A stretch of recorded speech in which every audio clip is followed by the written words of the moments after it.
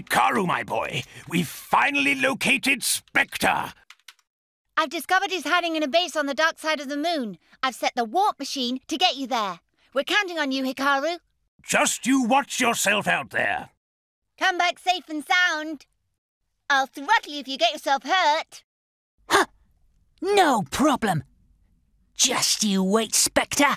Come on, let's go! Yeah!